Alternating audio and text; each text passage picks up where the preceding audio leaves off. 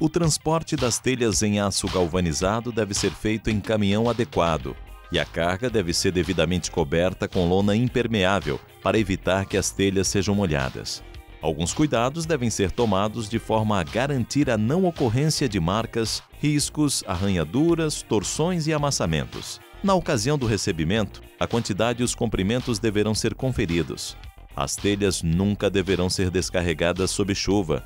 É recomendável verificar se estão secas ou molhadas. Caso estejam molhadas, não deverão ser armazenadas de imediato. Enxugue-as uma a uma antes de estocá-las. Quando a descarga for feita manual, usar luvas de proteção.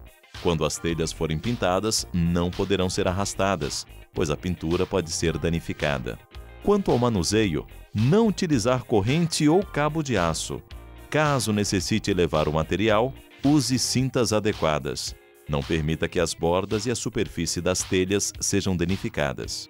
As telhas poderão ser estocadas por um prazo máximo de 30 dias, em local coberto, seco, ventilado, longe de vãos, portas abertas e livres de qualquer poluição. São as recomendações da Hipertelhas para garantir a qualidade do seu produto.